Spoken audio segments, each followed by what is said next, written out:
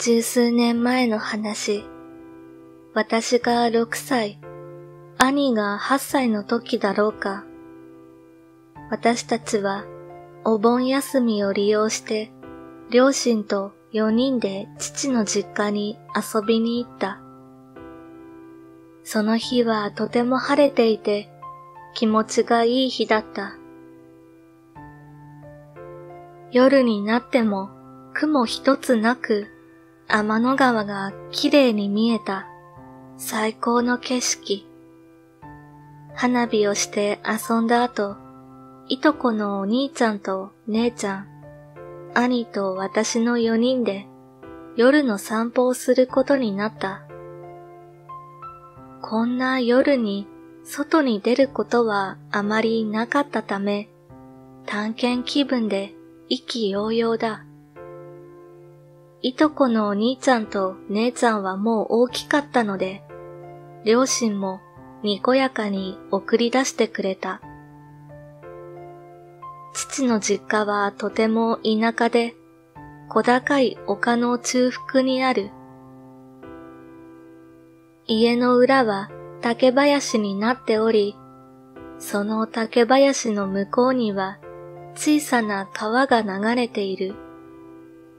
戦前はその川に沿って道があり、そこがこの辺りでは一番メインの道だったそうだ。しかし今はその道はなく、名残のように川に沿って家がポツポツと立っていた。父の実家も含めて川に沿って立っている家はどれも古い。少なくとも戦前から建っている家ばかり。父の実家は改装していたのでそうでもないが、他の家はどれも古くて、どことなく廃墟っぽい家すらあった。私たちは懐中電灯を手に、裏庭にある竹林を抜けて川沿いに出た。昔の道の名残だろうか、川の土手は平らで歩きやすくなっている。いとこの提案で土手を伝って上流へ向かうことにした。ポツポツ立っている古い家はどこも真っ暗で明かりすら灯っていない。そのことをいとこのお兄ちゃんに言うと、彼は少し逡巡した後教えてくれた。この川沿いはね、僕たちにとって肝試しコースなんよ。彼曰く、この川沿いに立っている家では、上流から順番に不可解なことが起こっているらしい。一番上流にある家は、30年ほど前に一家で心中した。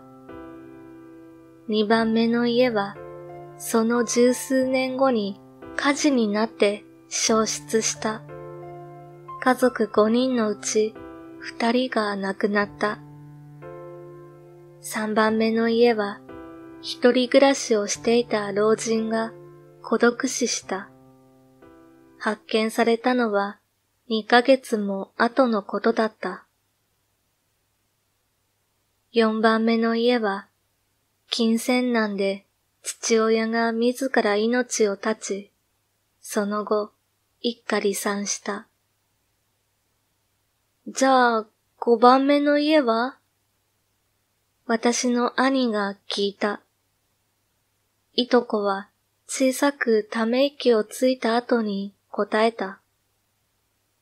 五番目の家は、うちなんよ。ぞっとした。もし、いとこやおじたちに何かがあったら、沈黙が四人を包んだ。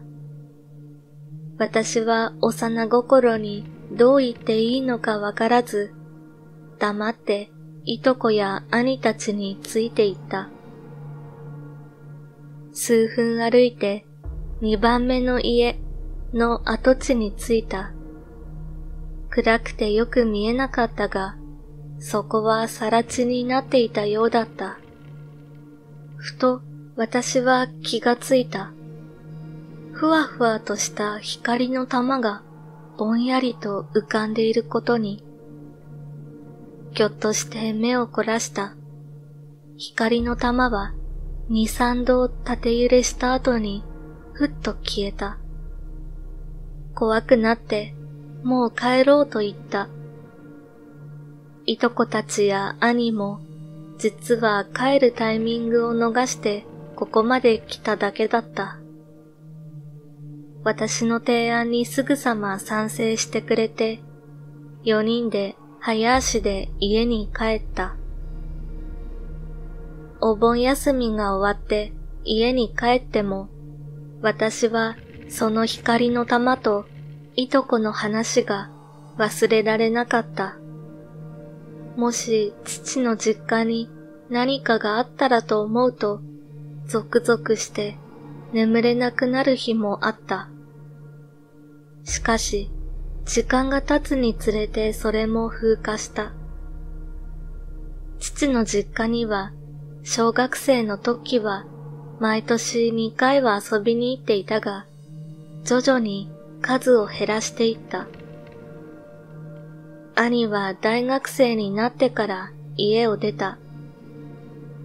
その頃はもう二人ともそこにはしばらく行っていない状態だった。私が高校三年の夏、兄が家に帰ってきた。私と兄はとても仲がいい兄弟だったので、夕食後、二人して好きだった映画を流しながら話していた。映画が終わり、それでも喋り足りなくて、いろいろと話した。きっかけは何だったか忘れたが、ふと話題があの夏の日のことになった。あの話怖かったよね。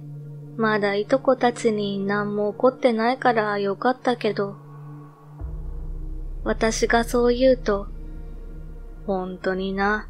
未だにあの話は忘れられんわ。と兄がうなずいた。私はもう行ってもいいかなと思って兄に言うことにした。光の玉の話だ。なぜかそのことは誰にも言っちゃダメだと思い込み、今まで誰にも言わずにいたのだった。そういえばさ、私、あの日見ちゃったんだ。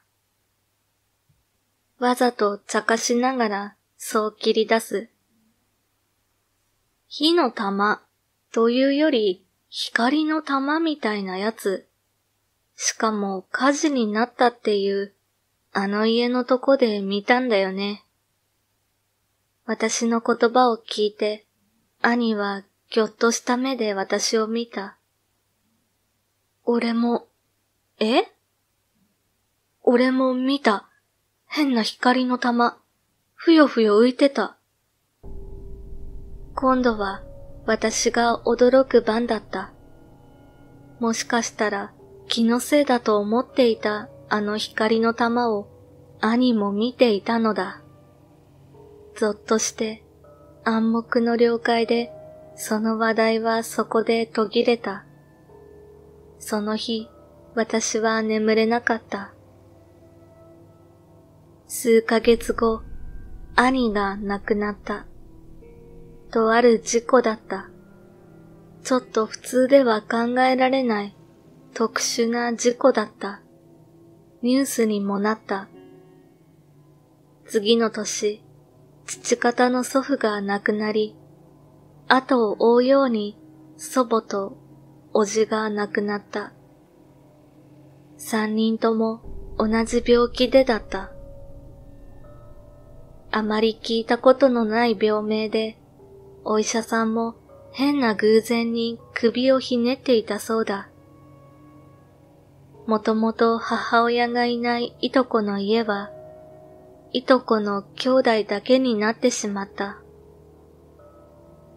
おじの通夜の前の夜、おじの遺体が収まった棺桶の隣で、いとこのお兄ちゃんと姉ちゃん、三人で飲んだ。二人ともこの家を出るのだと言った。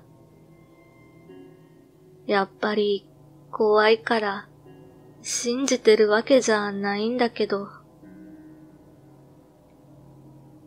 あまりお酒が強くない私は、酔いを覚まそうと二人に断って外に出た。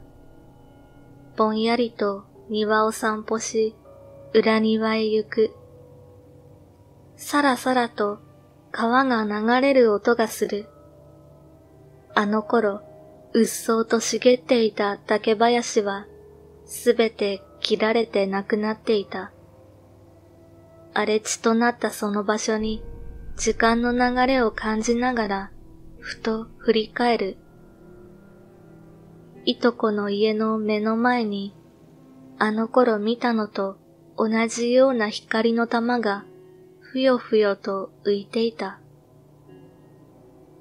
なんとなく思う。私はもうしばらくしたらこの世を去るかもしれない。